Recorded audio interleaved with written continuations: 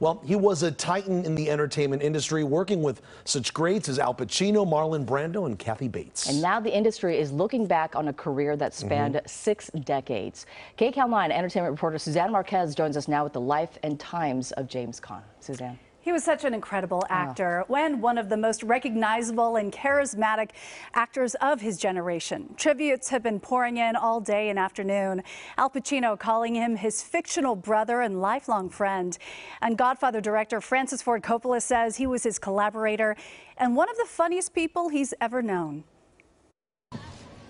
Flowers were placed at James Caan's star on the Hollywood Walk of Fame as fans gathered to remember him. He will be missed. He will be missed and he was amazing actor. I have watched Misery like five times, cause and on The Godfather, he was another. Uh, amazing. He's an amazing actor. He will yeah. be missed. An unforgettable actor, known to his friends as Jimmy. He was handsome with machismo and an athlete's swagger. I mean, I know perfectly well what's wrong with me. Gale, I, uh, I think I'm pregnant. He played football at Michigan State before his Emmy nominated performance as a dying football player in the classic TV tearjerker Brian's Song. I'm no idiot. This thing I got's bad, I know that. He also played likable tough guys. We got the boathouse, the garage, the back door. In 1996, he co starred with then action hero Arnold Schwarzenegger in Eraser.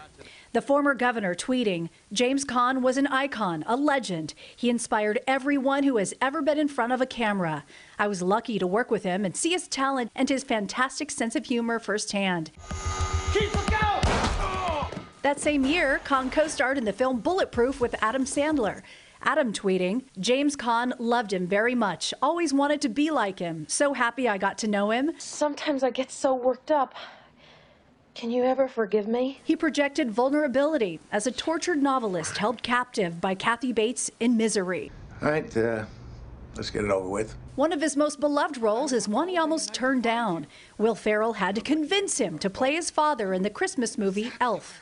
Your country ain't your blood, you remember that. I don't feel that way. I don't feel that way. Well, if you don't feel like that, why don't you just quit college and go to go to join the army? I did. But he was best known for his role as the hot headed heartthrob Sonny Corleone in The Godfather, which earned him an Oscar nomination. It was announced on Twitter this morning that he died last night. No cause has been given, and his family requests privacy with no further details at this time. James Caan was 82. Back to you, Susie. All right, Suzanne, thank you so much.